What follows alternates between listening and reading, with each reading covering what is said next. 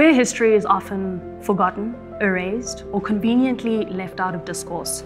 And so are the individuals who fought and braved an oppressive and discriminatory society to fight for the rights that we have today. So in the spirit of remembering, it is my honor and privilege to welcome to WQMD actor, activist, filmmaker, and true icon, Dr. Beverley Ditsie.